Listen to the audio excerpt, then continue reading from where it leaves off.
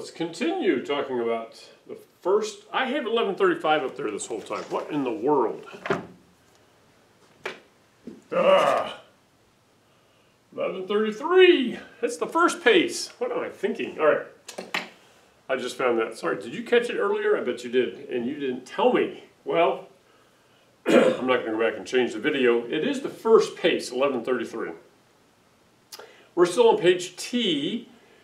Um, we're mainly going to talk about problem 25, but I want to quick set up 24 with you. Let's think through 24. It says a boy pulls a sled with a force of 40 newtons on a rope 2.5 meters long. The end that he holds is 1.5 meters above the horizontal, okay? Higher than the end attached to the sled. So I drew a sled here.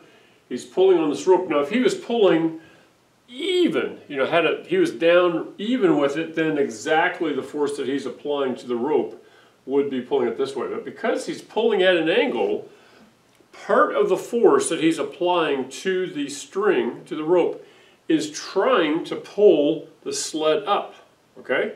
So part of it's trying to elevate it and part of it's trying to pull it forward. So we have to resolve it to find what are the two components. And the main thing that they want us to find here is the magnitude that is trying to pull it forward. So we're trying to solve for this part, the horizontal. Okay? so let me just talk you through it, and then I'm going to let you take, take it and run with it, all right? To find the angle, we know the opposite and we know the hypotenuse. opposite over hypotenuse. Yay! So you can do opposite over hypotenuse, 1.5 divided by 2.5. And then when you get that number, inverse sine, second function, shift, whatever sine, and you'll know the angle. Then, once you know the angle, and we know the hypotenuse is 40, we can solve to find the horizontal by using adjacent, because this side is adjacent to the hypotenuse. So adjacent over hypotenuse. So if I'm solving for the adjacent, I'm going to take the cosine of that angle that I found and multiply that times the hypotenuse. Hypotenuse, sorry, 40. Once you do that, you will have the horizontal. All right, so this is just helping you visualize it and set it up. Now, you do know, right? If you don't know, let me tell you that in the back of the score key, there's what's called a solution manual. Okay, so in the actual part of the score key where you're used to scoring, it just has the answers and it might have a little bit of a diagram, but it doesn't show you the steps and how they got the answer. So if you don't get the answer they get, go to the solution manual in the back of the PACE and you'll see all the steps for how they solve that. So I'm not going to write all those up here because you can look that up after you solve it, okay? But now let's walk through problem 25. This one actually reminds me a lot of Pennsylvania history because here in Pennsylvania they used to take coal from up in the Pocono Mountains, put them on these boats, canal boats, and then they would have a horse on this walking down a path called a towpath beside the canal and the horse would be connected with a rope. The rope would be pulling on the boat and they would try to make the boat just go straight down the canal while the horse is running parallel, okay?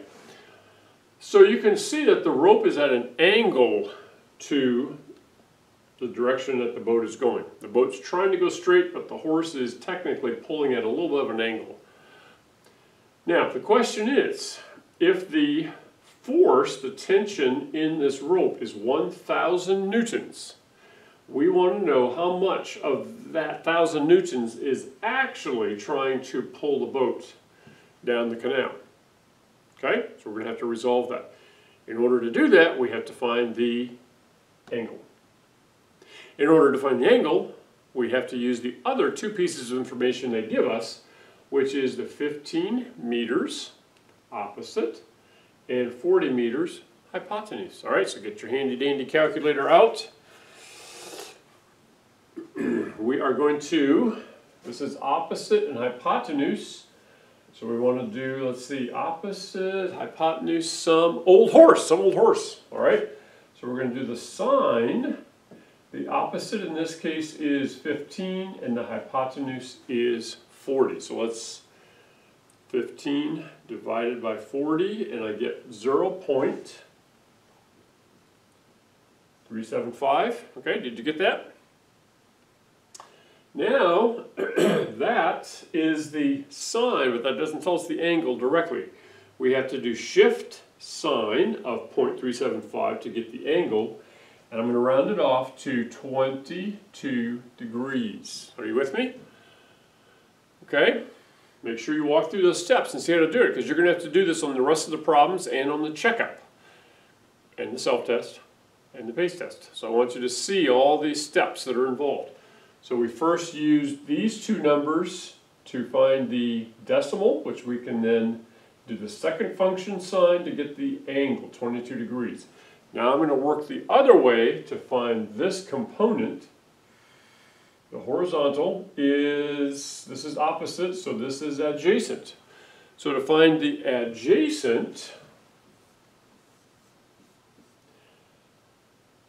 well, adjacent, the hypotenuse is still, is still, um, well, now it's a thousand because we're going to use the force, okay? So the same diagram, we're representing both the length of the rope and we're representing the forces involved. So hypotenuse is a hundred, is a thousand, and now I can do the cosine of the same angle that we found here, 22 degrees. So 22 cosine is 0.927. 0.927. And we're going to multiply that times the thousand. So I get 927. 927. Okay? Now I believe that when you go to check this one, I actually have the score key, so let me double check. I think they tell you that the answer is 930. How did they get 930? See, and you might think you got it wrong, but when actually if you got 927, you got it right. Okay, because that's what I got. What they're doing is they're saying this number here has two significant figures, this number has two significant figures, and this one actually only has one. Okay? So we have to round the answer to, um, or did they put a bar over that one? I'm trying to see.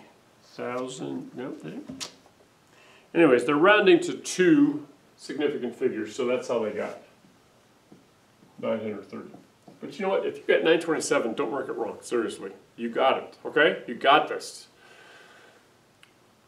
All right. I think we should probably um, talk about 26. All right, so we'll do another video for 26.